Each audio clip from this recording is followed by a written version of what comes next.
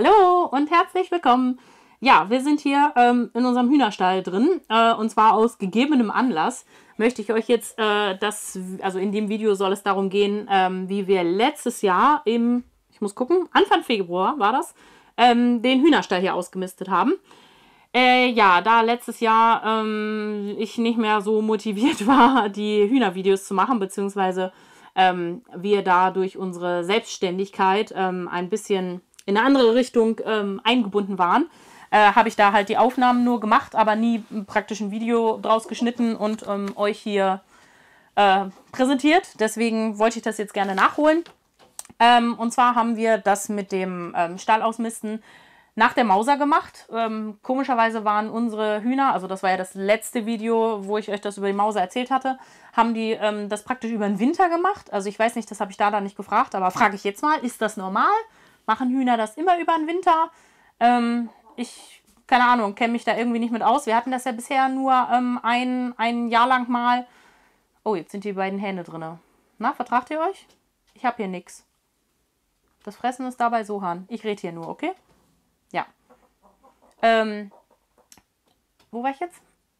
Das. Achso, ob die ähm, Hühner immer über den Winter mausern. Also das fand ich irgendwie sehr unpraktisch, weil, naja, Mauser, sie verlieren Federn und dann im Winter ist es ja eher kalt. Gut, den letzten Winter, da war es jetzt nicht so kalt. Da war es dann eher ähm, Anfang des Jahres äh, ein bisschen kälter, als die ähm, dann die neuen Federn schon wieder hatten. Aber ja, ich hätte jetzt eher gedacht, dass sie das vielleicht im Herbst oder im Frühjahr machen, wenn es halt ähm, ein bisschen wärmer ist und nicht über den Winter. Aber gut, also könnt ihr mir ja gerne mal in die Kommentare schreiben, was da so eure Erfahrungen sind. Würde mich mal interessieren, ob das normal ist. Aber wie gesagt, wir haben das dann nach der Mauser gemacht, im ganzen Stall hier. Wobei jetzt sieht man es auch schon so ein bisschen hier hinten in der Ecke. Ich weiß nicht, ob man das jetzt hier so sieht, ne? Auch alles voller Federn. Das ist nichts zu fressen, das sind nur Federn, die ich da gerade hergeholt habe. Ähm, ja, also ähm, wir haben, also machen das jetzt halt nicht ähm, ständig sauber, den Hühnerstall, sondern äh, mein Mann hatte das damals recherchiert, dass wir das gerne mit der Deep Litter Methode, nennt sich das, machen wollen. Also, dass wir halt sehr, sehr, sehr viel Einstreu reinmachen. Ich weiß das gerade gar nicht. Wollen wir mal buddeln? Na, wie weit kommen wir? Okay, also meine komplette Handtiefe, wie tief sind das? 20 cm oder so, haben wir jetzt hier, ähm, naja, es sind keine Hackschnitzel mehr, sondern es ist jetzt, ähm, wie nennt man das, ein Sägespäne ähm, ist jetzt hier drin. Und zwar überall. Und da ähm, soll das dann praktisch so sein, dass wir, da oben haben wir ja ein Kotbrett. Ich weiß nicht, ob ihr das da noch sehen könnt, unter den Schlafstangen. Ähm, und da, ja, ist ja das meiste, der meiste Kot geht ja da drauf, äh, wenn die Hühner da nachts schlafen. Und tagsüber sind sie jetzt im Sommer sowieso meistens draußen. Und das Kotbrett machen wir dann halt immer sauber. Das heißt, das ähm, kommt dann gar nicht hier in den Stall rein. Ähm, aber ja, wenn hier halt noch irgendwelche großen Haufen rumliegen, dann nimmt man die halt auch. Wir haben dann immer Handschuhe an zum Kotbrett sauber machen, nimmt man das halt auch einfach weg. Aber ansonsten, ähm, ja, ist hier so viel Einstreu praktisch drin, dass die Hühner das von sich aus immer schon umgraben, wenn sie hier drin rumscharren und so, dass das halt ein Jahr lang so bleiben kann. Und ähm, ja, einmal im Jahr müssen wir das da eben sauber machen. Das haben wir jetzt immer im Frühjahr gemacht. Und ähm, wir hatten davor ja so Hackschnitzel hier drin. Also wir hatten, als wir hier in das Haus eingezogen sind, ähm, da hinten irgendwie so eine Thuja-Hecke, die war schon halb vertrocknet und umgefallen und so. Und dann haben wir auch noch ganz viel Physizien, glaube ich, waren das auch noch. Ähm, wobei von denen haben wir gar nichts genommen, weil Physizien sind ja auch für die Hühner zum Fressen nicht gut. Also da sollte man dann darauf achten, dass man dann, wenn man Einstreu-Hackschnitzel hat, jetzt keine giftigen Sachen für die da drin hat.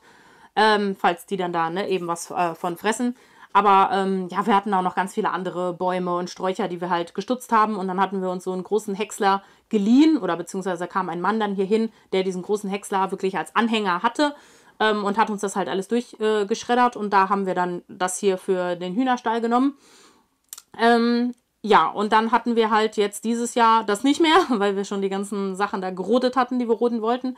Und da hatte ich dann aber bei eBay Kleinanzeigen zu verschenken gesehen, hier so ein äh, Sägespänenzeug. Also ich nehme mal an, dass da irgendwer, also in blaue Säcke verpackt, dass da irgendwer, ähm, keine Ahnung, äh, so Holzarbeiten gemacht hat.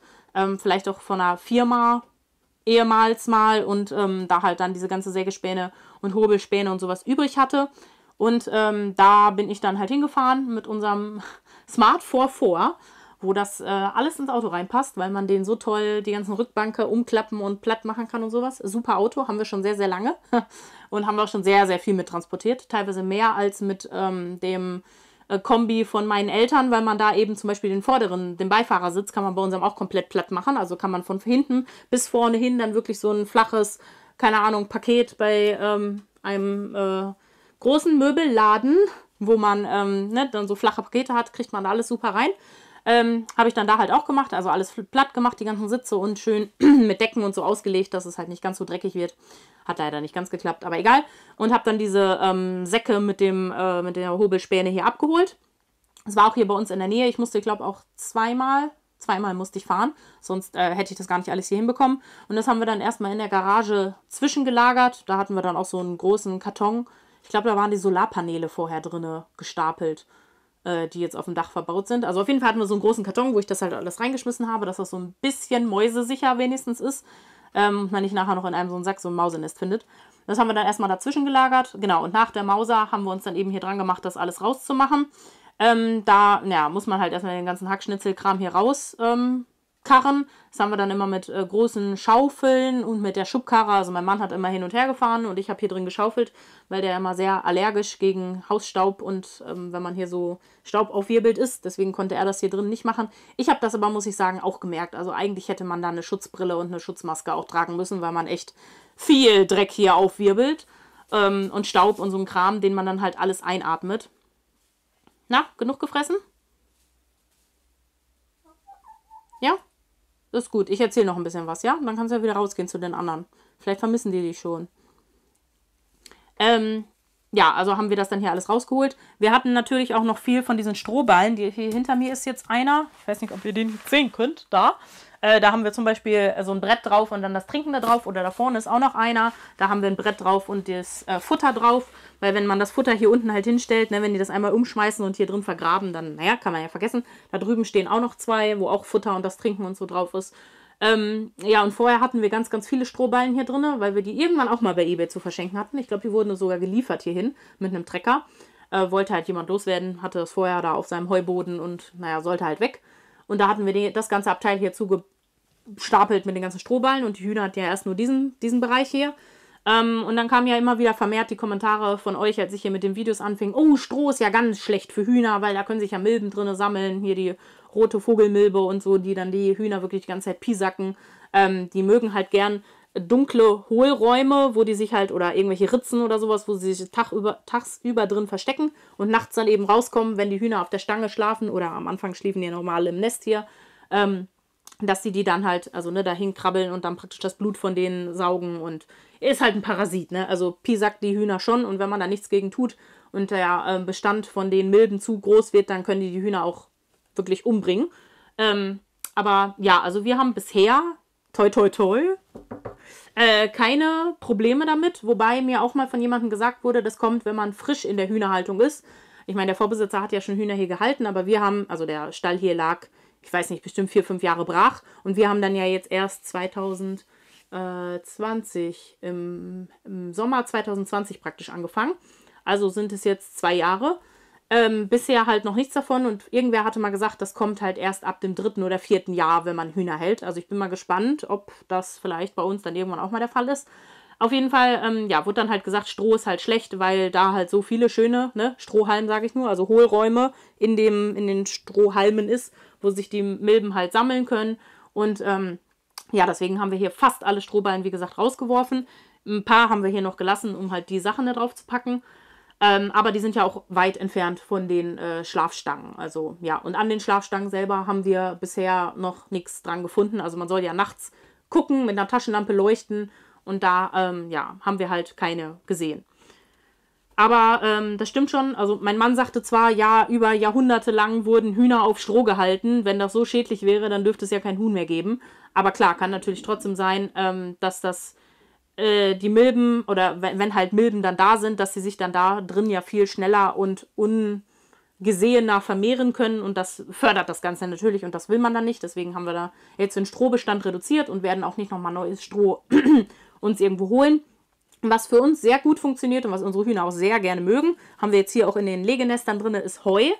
Also wir haben ja große Rasenflächen, wenn mein Mann die senzt, also wirklich langes Gras, ne?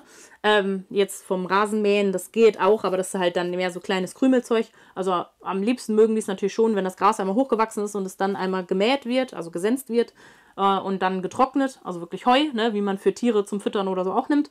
Das mögen die halt sehr gerne. Und wir gucken mal, ähm, in Zukunft werden wir das hier, wenn man die Strohballen dann da ähm, raus hat, um das Futter da drauf zu tun, kann man ja auch, keine Ahnung, irgendeine Kiste umdrehen oder so. Irgendwas wird uns da schon einfallen, ähm, was wir dann da zur Erhöhung oder so nehmen. Und ähm, ja, mit dem Stroh haben wir dann zum Beispiel aber auch draußen äh, Strohbeete angelegt, beziehungsweise wir haben da eine ganze Reihe Himbeeren. Ich habe nichts zu fressen. Es ist nichts da. Da hinten ist es zu fressen drin. Benjamin hat euch das eben neu aufgefüllt. Geht mal da hinten gucken, an der Futterraufe. Ich habe hier nur den Zettel und erzähle was, okay? Ähm, da haben wir halt Strohbeete mit angelegt oder die Himbeeren mit gemulcht. Also da haben wir sehr viele Brennnesseln und auch Klettenlabkraut. Ich weiß gar nicht, was schlimmer ist, Brennnesseln, Piken, aber das Klettenlabkraut, wow, ist ja doch ganz schön schreckhaft, ne? Das Klettenlabkraut ist auch, wenn man da die Himbeeren pflückt und man dann da, also ne, hin und dann zieht man zurück. Also da hast du nachher auch echt ganz schöne Striemen an den Armen, die sind auch ziemlich nervig. Ähm, und deswegen haben wir da dann halt auch viel von dem Stroh hingetan, um dann halt unten das ganze Unkraut, sage ich mal, zu unterdrücken. Und ähm, ja, wenn dann natürlich die Strohballen hier eine Zeit lang bei den Hühnern drin waren und die dann da schön drauf geköttelt haben und so, dann ist das natürlich auch noch schön gedüngt. Also wenn man damit dann Beete anlegt oder irgendwas ähm, mulcht, dann wachsen die Pflanzen natürlich umso besser. Vorausgesetzt, es sind Starkzehrer. Also bei Schwachzehrern sollte man das jetzt vielleicht nicht unbedingt ähm, so konzentriert hintun, aber das ist ja auch das, wo wir unseren ähm, Hühnerkot immerhin entsorgen, wenn wir irgendwie was Neues anpflanzen oder sowas. Das ist immer sehr praktisch. Ähm, ja, und das ganze Hackschnitzelzeug haben wir dann auch. Das haben wir, wo haben wir das hier hingepackt? Unter die unsere Himbeer, äh, Himbeer, ähm, Obst, Beerensträucher, so, Beerensträucher wollte ich sagen. Da haben wir auch so eine ganze Reihe. Und da haben wir halt dieses ganze Hackschnitzelzeug ähm, hingeworfen, was auch ja dann gut gedüngt war. Und dann eben hier diese, dieses hier reingetan. Hat eine Zeit lang gedauert, war wie gesagt sehr dreckig und staubig. Hat dann aber im Endeffekt ganz gut geklappt. Wir haben sogar noch was von dem, von dem äh, Sägespänen-Zeug übrig. Das hat mein Mann gerade, wir hatten, noch in der, hatten wir noch in der Garage. Das hat er jetzt hier in den Hühnerstall gerade reingepackt, wo vorher noch die Hackschnitzel-Sachen drin waren. Also da hatten wir so ein IBC aufgeschnitten, dass wir nur den, also nicht das Gitter drumherum, sondern nur dieses Innenteil davon, wie nennt man das denn, dieses Plastikding von dem IBC, ne? Ähm, da haben wir das reingetan weil wir die Garagen jetzt ähm, in Zukunft für was anderes brauchen. Aber da bin ich jetzt auf dem falschen Kanal. Ähm, ja, egal. Und ähm, das Faszinierende war aber, dass am Anfang die ähm, Hühner dieses, dieses Zeug hier überhaupt nicht annehmen wollten. Also wir haben das dann halt irgendeinen Nachmittag mal fertig gemacht und abends haben wir dann halt gewartet. Die Hühner waren die ganze Zeit draußen, beziehungsweise wir haben danach auch was vor die Klappe gestellt, damit, wenn wir hier am Schaufeln sind, nicht ständig die Hühner reinkommen. Ähm, und die wollten nachher einfach nicht reinkommen. Die standen da vorne vor der Klappe und guckten und, und beäugten das Ganze und waren so richtig, öh, was ist da denn passiert? Und die kamen einfach nicht rein. Sie gingen immer wieder raus. Ich glaube, die erste, oder wir vermuten, dass die erste, die nachher drin war, Weizencreme war. Wir haben dann nachher vor ähm, den Eingang vorne auf so ein Brett hier gelegt, also so ein Holzbrett, dass sie nicht direkt hier gleich auf dieses, dieses Zeug draufgehen müssen. Und ähm, naja, wir haben dann abends geguckt, als es dunkel war, waren dann alle drin und saßen auf der Stange. Aber das Faszinierende war, als wir dann am nächsten Morgen geguckt haben, so um 10 Uhr oder so, saßen immer noch alle auf der Stange. Also sie haben sich echt von der Stange nicht hier runter getraut, weil sie dieses, dieses ähm, Sägespänen-Zeug nicht mochten. Ich meine, gut, das war auch am Anfang sehr fluffig.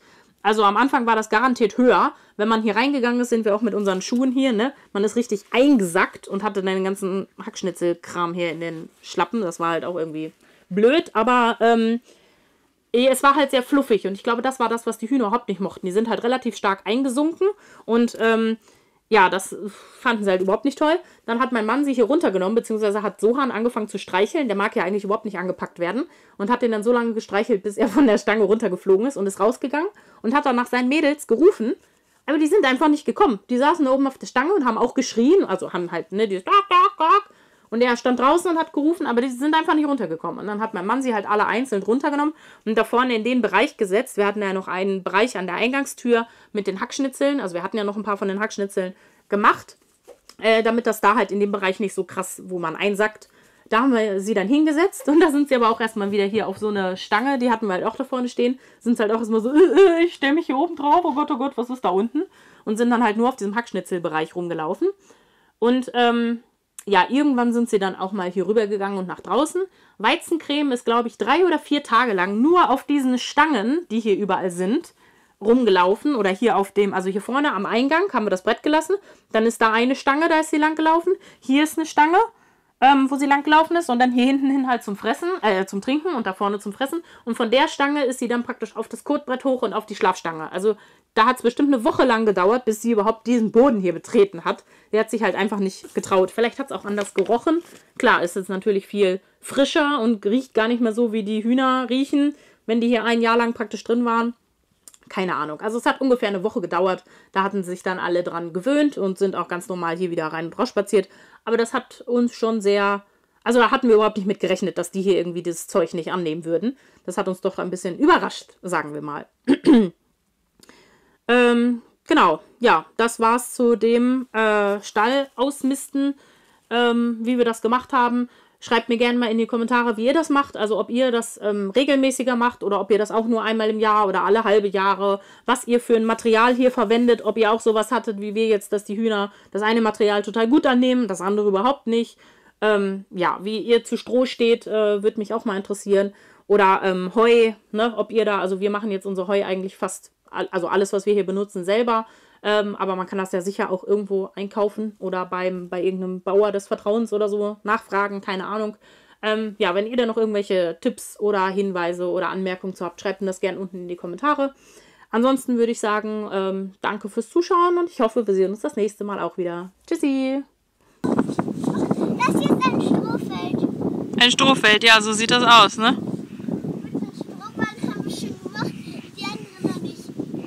Die anderen fehlen noch, ne? Und da hinten habt ihr sogar schon ein paar aufgemacht, richtig? Da hinten die? Oder ist das das, was schon offen war? Ach so.